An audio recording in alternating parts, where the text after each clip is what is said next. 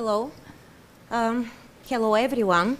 It is a great pleasure to be here in this uh, unusual time um, in order to discuss how the technology and innovations uh, during the pandemic are, uh, are helping people and also businesses to adapt and to survive sometime. Uh, my name is Vanya Manova and I'm country manager of MasterCard for Bulgaria, North Macedonia, Albania and Kosovo. And I'm here with uh, Armen Metavusyan, who is um, Chief Commercial Officer of TBI Bank, with um, Eva Vucheva, who is uh, founder of one very interesting uh, fintech uh, company, maybe more tech fashion than tech. fashion tech, okay, named uh, Impact ID, and Evgeny Yordanov, who is uh, Chief Digital Officer in CloudCart, one of the biggest e-com platform in Bulgaria, if not the biggest one. He will uh, correct me if I'm Sure. wrong. Yeah, not a problem. Okay, so um, it's not a secret to anyone that we live in a very challenging times, and uh, many people and businesses um, actually had uh, been um, challenging to change their life, uh, their uh, the way they work, the way they interact, etc. And here we see how the technology and innovation can help them uh, in this uh, process. Many businesses actually uh, had to uh, react immediately and to go digital even overnight in order to be able to um, keep working and serving and keeping the relationship with their customers. We see the exponential growth of e-commerce, of digital services, and um, fortunately, we as a company, MasterCard, were very well prepared about this because we had all the technologies, all the solutions in place, and I believe that all of you would agree that uh, after many years, contactless payments and uh, even mobile payments are becoming the new and normal way to pay. But today we will be talking about um, another channel, digital channel, which is uh, e-commerce, how the trends are um, changing, how um, actually um, the businesses are reacting, and uh, how the customer mm, behavior is changing and how actually technologies are helping um, this uh, customer behavior to be um, well met by all businesses. I'm going to share only one number and then I'll leave the floor to our um, panelists to share their experience and their um, opinion. But uh, during the pandemic, 17% of Bulgarians have purchased online for the very first time. 40% of um, Bulgarians have purchased, have purchased uh, online things for the first time. I mean, different things than usual before. And here, I will leave the floor to um, Evgeny uh, to share more um, data about this and to share not only data but some particular cases which will prove how the technology is helping the businesses and the people. Yes. Thank you, Vanya. Thank you, everybody, for, for partic- participating in this event, of course, and uh, to all our viewers um, for, for, I know, keeping tabs on everything that's coming up and working in the e-commerce field. And for instance, I would like to speak uh, really briefly about the changes that happened this year as opposed to the previous years that were um, back in, in the 2010s uh, that we've experienced thus far. But what, what I have in mind right now is to share that a lot of businesses are digitizing their, their uh, whole operations and moving towards an online experience rather than what they had thus far, which was more of an offline experience if you think about it. For instance, one of uh, the biggest customers that came in into CloudCart during the pandemic was T-Market. This is one of the biggest grocery stores in Bulgaria, if you think about it. It's a whole chain of stores that just digitized their business and started selling online for the first time ever. And they did that based on the CloudCart platform because we are enabling businesses to, to digitize themselves pretty easily for the most part.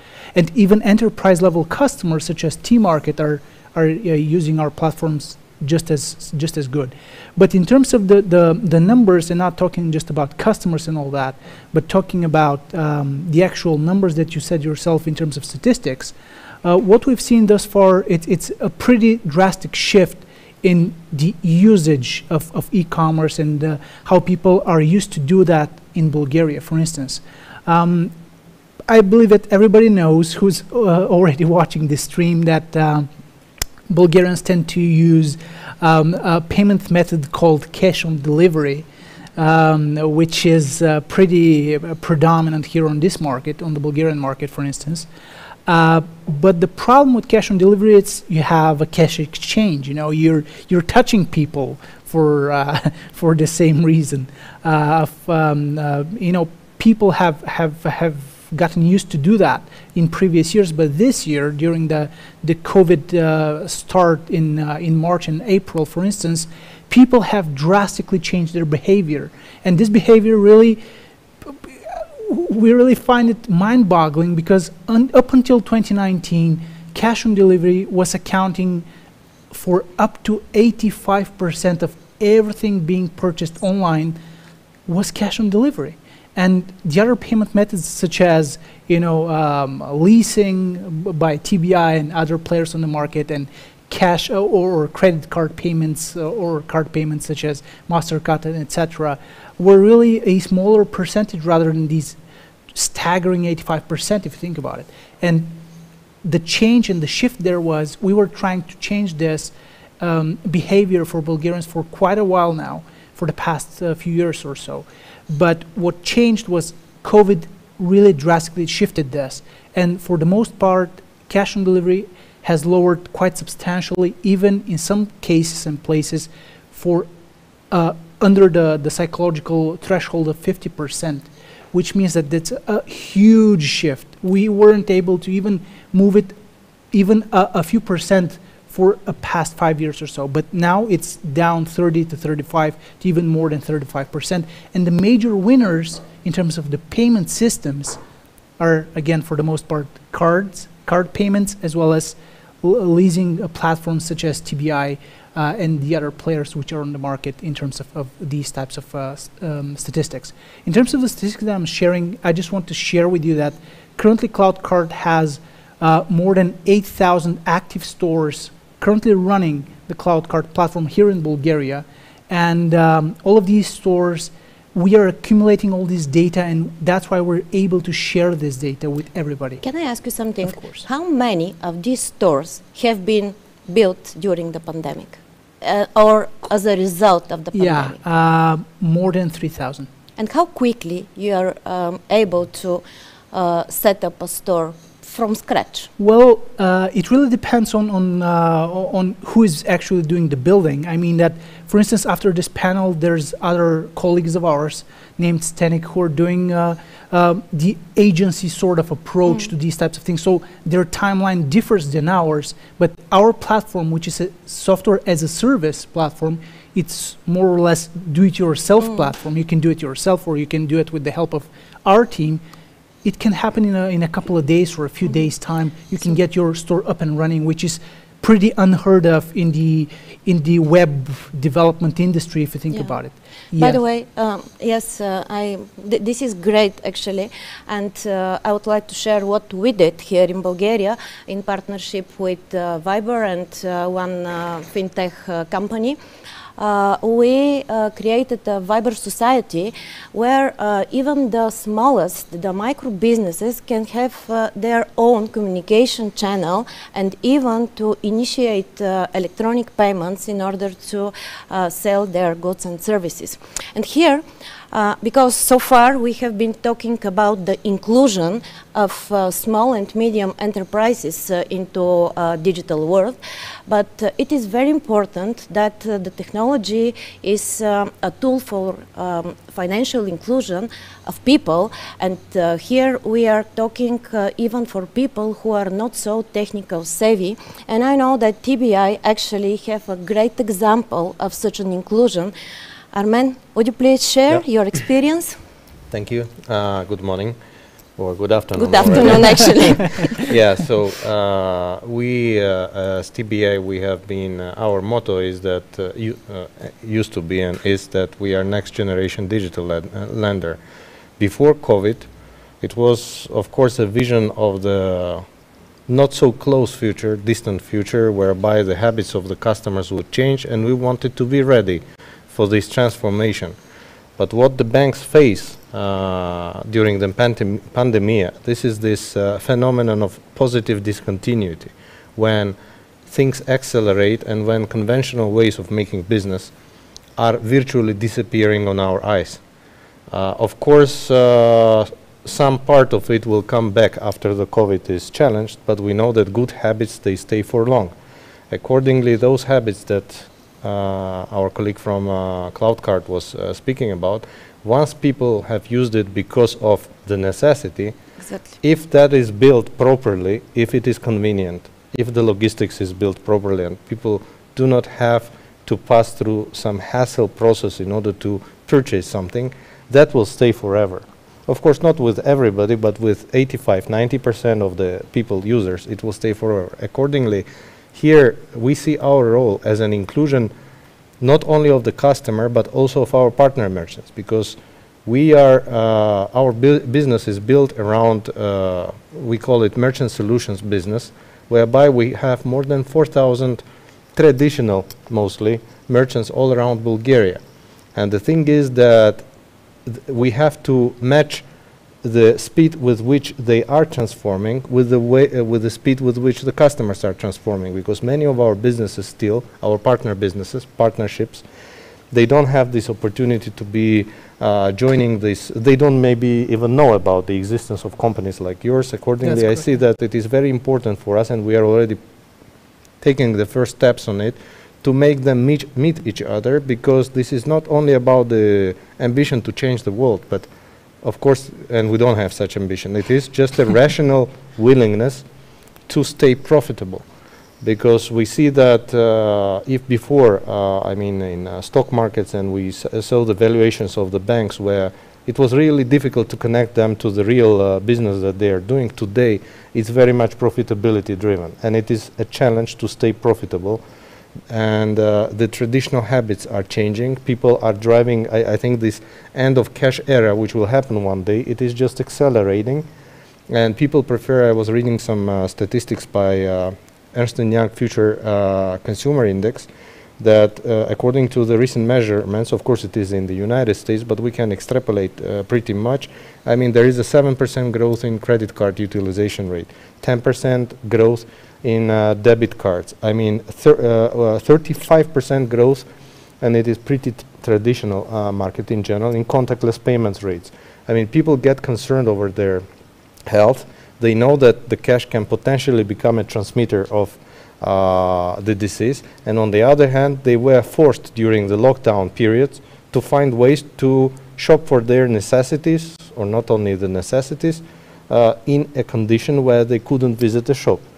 Accordingly, this is important, and uh, this is where we were already. We have uh, extensive uh, uh, platforms for uh, leasing over, as we call it, uh, we call it purchase finance through the websites, cash online. But what we did for customers, on the other hand, is that because not all customers are sufficiently technologically savvy, we have created assisted processes where the customer, which is unable, for instance, due to age or maybe due to some technological restriction, to finish the online application independently, we are we have set up a special team in call center, which is uh, we are asking customer just to start and then we call to finish together with him. Awesome. And Awesome. you do it once, you do it twice, and uh, out of 10 customers, five start using it later independently. And this is what I, I call it a digital experience, you know, physical with digital together. It will be something in the middle, and then it will transform, of course, to digital, but uh, there are a lot of driving factors there. But I mean, we, we look very hopeful. And in general, we see that approximately we saw that if the share of online uh, business in our business in Bulgaria, which is a very archaic market, as you have uh, correctly mentioned, if it was uh, on the level of 10% of the total turnover and pretty stagnating, right in April uh, this year, it has grown to 20%. Then after the lockdowns got eased, it went down, but not less than 18%, and now it is growing. Yeah, exactly. Yeah. But um, uh, thank you very much for this, and uh, I would uh, confirm that uh, actually this uh, unusual uh, way of spending and changing the habits are something which is becoming a trend, and we expect that it will um, be kept for the future. And um, Thank you very much for the great example how customer care is the focus of all the businesses and uh, that we live in customer-centric uh, um, world. And uh, um, as I mentioned in the, in the beginning, uh, we are observing how customer behavior and, custom and how customer values are changing. People are not buying just to buy, they buy because of something.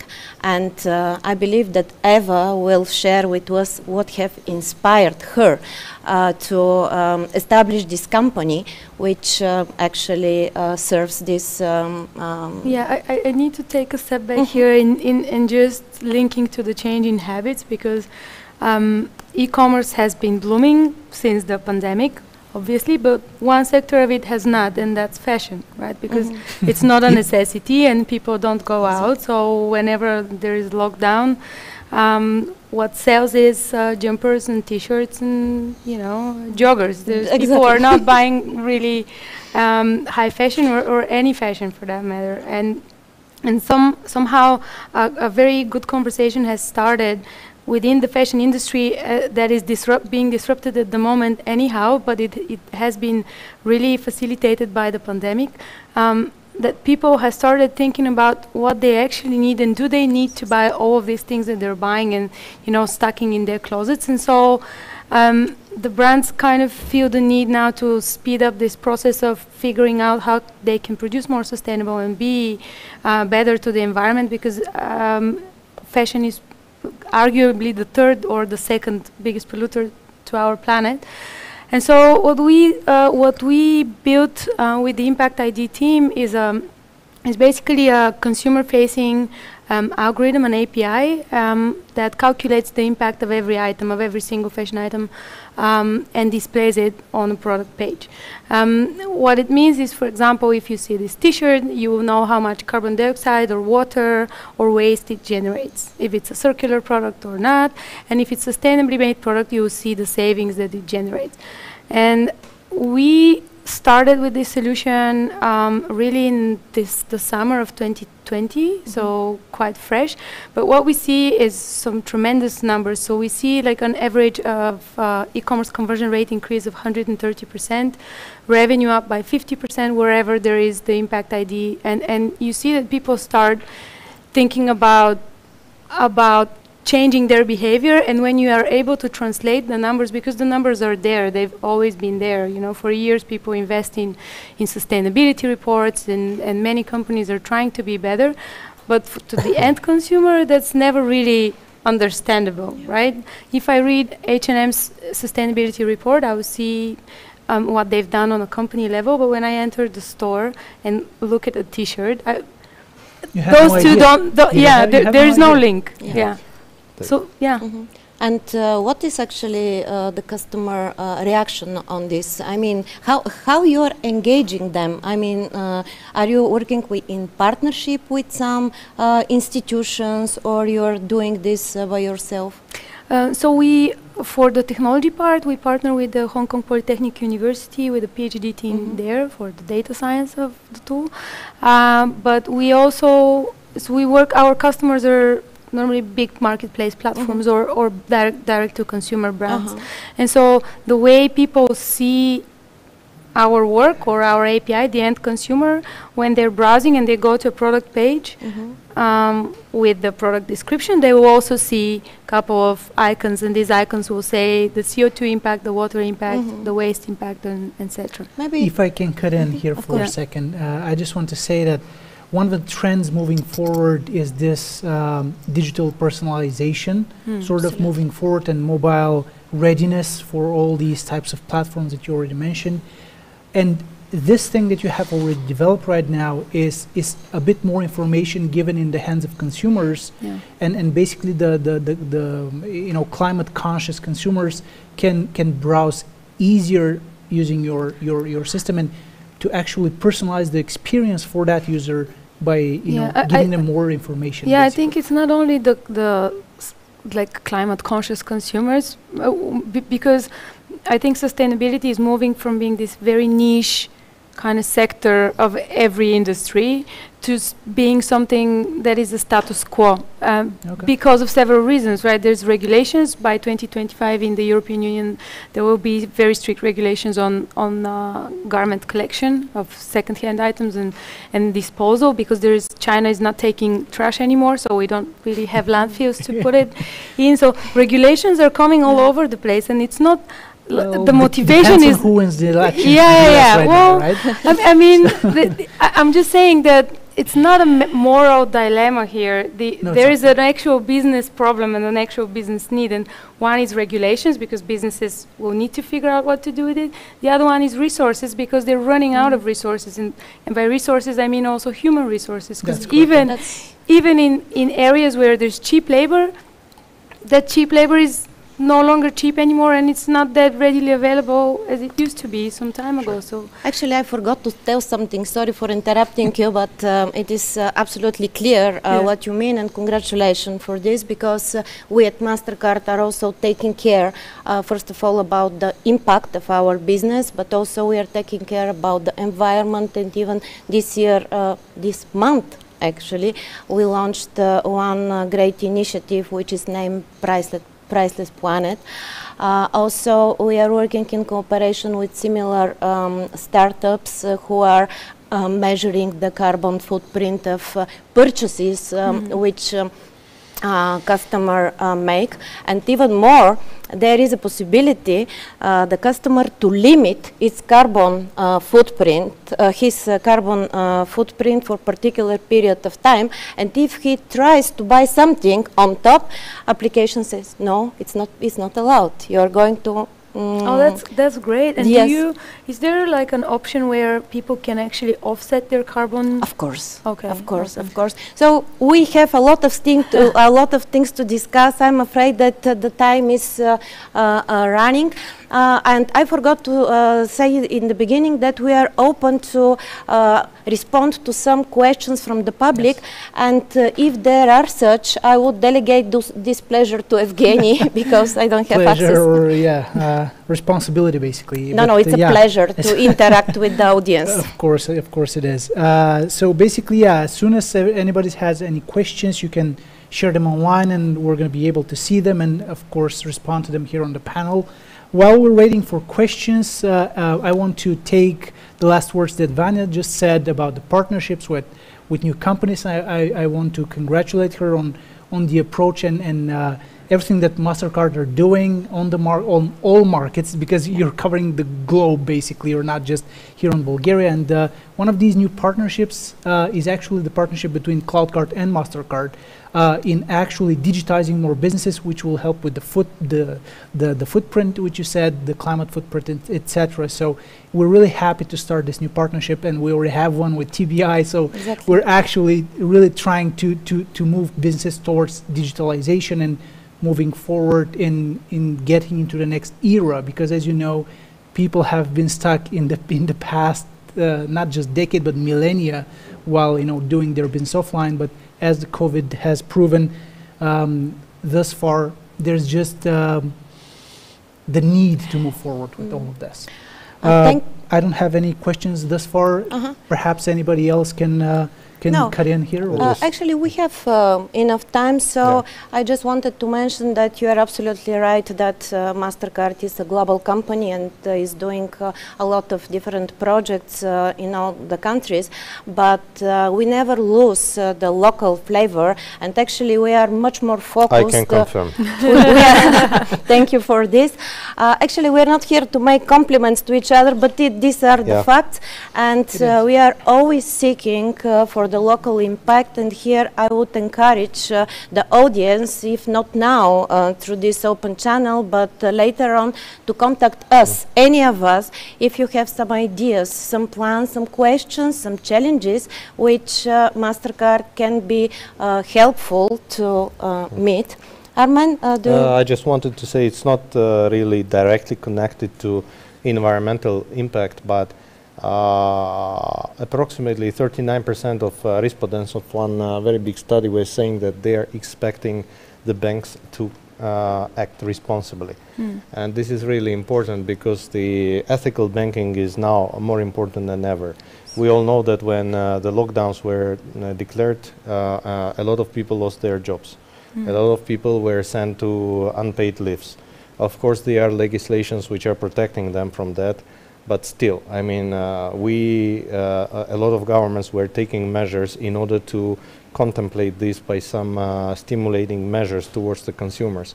And on, uh, it is really, uh, customers see that we should be the fair transmitters of those stimulus measures towards the public, because if the stimulus measures are taken on a big level and then they pass through the banks towards the uh, public, and you know there are ways to transmit it in such a way that nothing gets to the bottom. I mean, this is not what customers expect from us. And on an example of TBI Bank, uh, we have uh, started restructuring the facili- loan facilities of our impacted borrowers approximately three weeks before the National Bank of Bulgaria required us to do so. And we feel the appreciation because, I mean, we shouldn't be like, you know, uh, Mark Twain was saying about the insurance agents, that the good insurance agent is the one which will give you the umbrella when it is shiny, but will take it away as soon as it is raining. Uh, they are, uh, that was the habit of the banks in 1990s. Uh, even in the beginning of the 2000s, but now I think that responsible banking is very important because first of all, it is uh, leading for, to lower costs of risks. And on the other hand, it is the appreciation and the loyalty of the borrowers, which is important today because as the earnings possibilities on the banking sector shrink, the competition becomes more fierce. And accordingly, to win in this competition, it's not only about the products and channels, but also about the responsibility. And I think this is very much, uh, it can be extrapolated to any industry working Here- there. This is what I wanted here- to say. Here I would uh, 100% agree with you, and I will share what uh, my manager, uh, the head of, um, the general manager of uh, MasterCard uh, for Central and Eastern Europe is saying. He is saying that uh, nowadays we are winning our customers not with brains, but with, uh, but their hearts. And We, sell, um, we have to sell the experience, not yeah, the product. Yeah, and exactly, exactly. Here's something that I can share right now, since we're sharing all these good ideas and everything. First of all, I want to congratulate TBI on, on doing this, uh, uh, you know, calling and, and not, you know, having people in person, these types of uh, innovations in sort of the banking side of things, because these things are really helping merchants. Because I'm, I'm trying to protect merchant side, basically. And seeing this in banks like yours, it's a tremendous win for for all the businesses because the businesses are hit hard. I know that people are hit hard personally when it comes to the, their health and everything. Small and but medium economies, sector, yeah. the economies are, are going down fast, as you put it yourself, in other more eloquent words, if you think about it. But uh, basically, the, the whole idea of the whole thing is that yes, banks should be helping. Mastercard is already helping, and they're helping merchants, um, which you know need this in, in times like these. And we, as CloudCart, has also have also helped. Uh, for instance, we've done this uh, um, uh, campaign called "Get Through the Hardships" by getting online, which helped more than uh, uh, again 2,000 uh, merchants go online during just March and April alone. So we've seen this tremendous shift, and we're all trying to help. So I congratulate you for all of this that you're doing on that regard. Same from our side. Uh, do we have any questions? No, unfortunately, I have nothing. No. The, pe- and is the, the audience is very shy, or may- maybe it's a lunchtime. I don't know. perhaps, perhaps that's that's It's the a situation. lunchtime. But, the uh, if we- expectation of the yeah. lunch. But if we don't uh, have any other questions, let's just conclude that uh, the technology uh, actually and uh, technology and innovations, but uh, innovation not on, not always means uh, some science um, or stuff, yeah. Uh, exactly, or something very difficult, um, mm, but uh, good organization, good, good process optimization, um, together with the technology can, def- can definitely change the people lives the businesses lives not only the small businesses but uh, we have been um, seeing how uh, actually very big businesses are suffering uh, during that times. So and for me for us at mastercard the key word here is responsibility and uh, partnership. Because uh, uh, there is no one no, no who um, could uh, uh, do miracles alone, but in partnership, everything is possible. So uh, here, I would like to thank you, Thank you. and thank the on the audience and thank uh, and thank the organizers as well for uh, making this discussion happen. And uh, keep safe and stay healthy. Stay healthy. Yeah. Yeah. Thank you.